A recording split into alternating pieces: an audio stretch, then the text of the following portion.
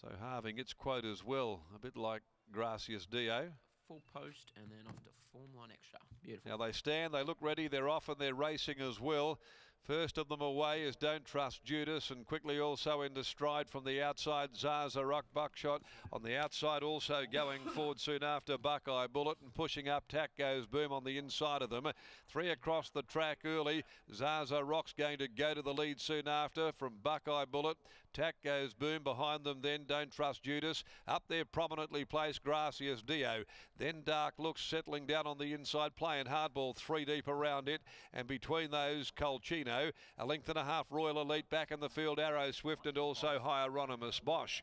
1,000 metres to go. They work along the back and it's Zaza Rock who controls proceedings for Luke Campbell. Out here at the 900 mark, Zaza Rock running second is Buckeye Bullet with a red cap. Over on the inside, a length and a half away. Tack goes Boom, sits up travelling third. Don't trust Judas fourth.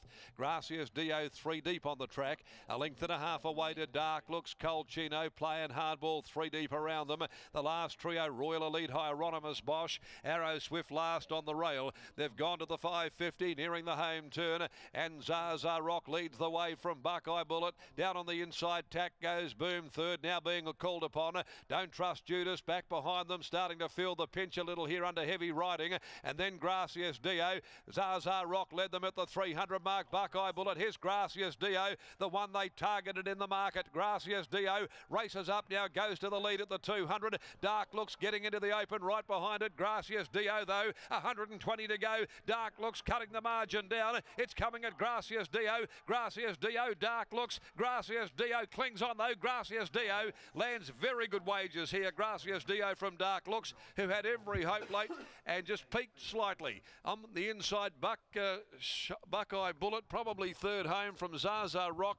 Tack goes Boom. Royal Elite, Hieronymus Bosch, Arrow Swift back in the field, followed then by Playing Hardball, Colchino next in, and Don't Trust Judas. Well, you can't. You can't trust Judas, the 245 favourite, because it's run last and tailed off.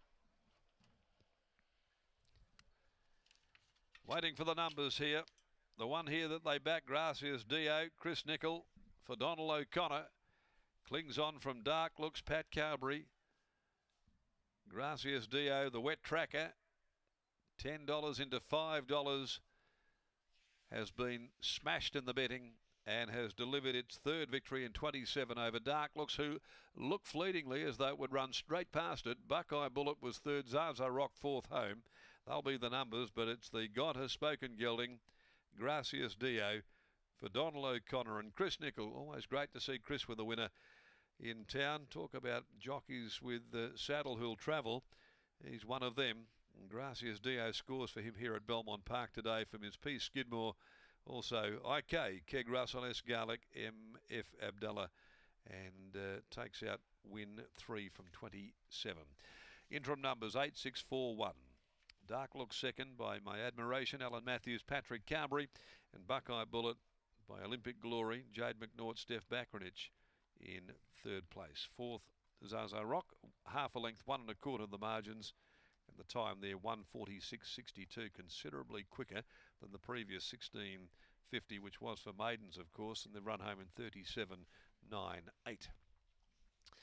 So, money speaks all languages here, and uh, it certainly was a very, very targeted move with the heavy track conditions today for Gratias Deo and they've been led on at the double figures $10 right into $5 and back like there was no settling. The next event, race 5, the Studco Handicap, Class 1, 1400 metres. Take out 15, Celebrity Icon. Pat Carberry replaces Holly Watson on Very Timely in the next event at 3.35. As Lockie joins us from down in the yard, and uh, this was one here tailor-made for the conditions today, and punters thought accordingly. Absolutely, Darren. You've referenced it there. $10 into $5.50 laid and lands the cash winning trainer. Dan O'Connor joins me now. Dan, this horse has been building into the campaign really nicely, and it's fair to say he hasn't had the greatest deal of luck throughout the preparation as well.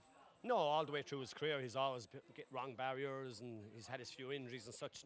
But um, I thought he raced really good the last day with Chris uh, from a sticky gate. Just probably produced him a little bit too soon in the run and peaks with um, 100 metres to go. Although today he, he produced them a little bit early again, but um, he stuck his head out when he had to and found the line. To the horse's credit, he had to do it the hard way throughout, and he was still right there in the finish. He was. Well, he's always a horse that we thought would get a lot further than this, you know, up to 2,000 quite easy, you know. Um, he just has his little quirks. He doesn't give 100% every time, and he's had a few little issues. So I'm hoping we're starting to see the best of him now in the future, you know.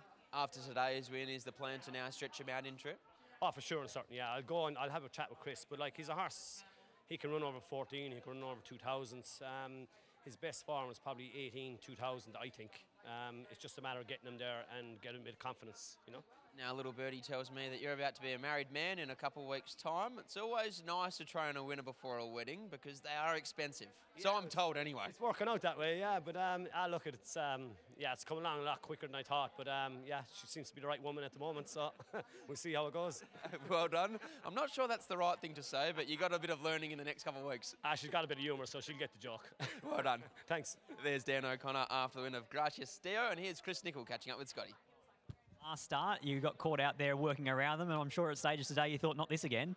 Yeah, it didn't work according to plan at all. D- Donald's main instruction with him is don't get to the front too early, and I got to the front too early again. And luckily, he got challenged and found a bit for me late. He's tough, isn't he? Yeah, he, he he's a good horse because he, he does it he does it for you. He'll travel into the race for you. He'll get you a long way. It's just a matter of um, timing with him, I think.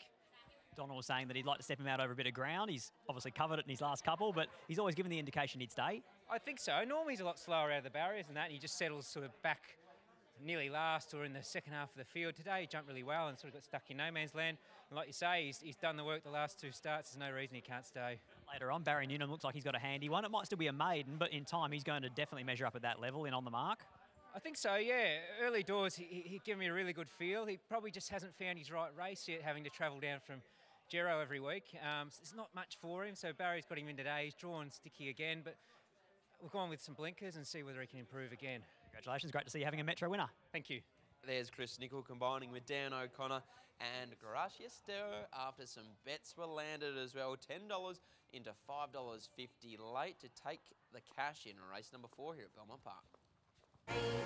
this